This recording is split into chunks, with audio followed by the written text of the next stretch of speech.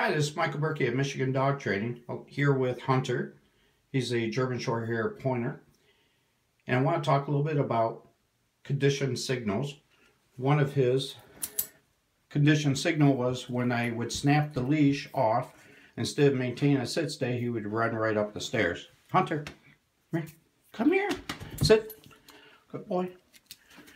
So to prevent him from doing that, we want to practice, he would hear this clip and so as if I had taken it off.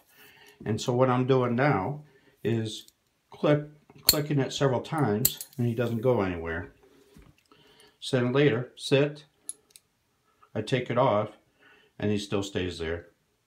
Good boy, Hunter. I know you want to go up, huh? Good boy.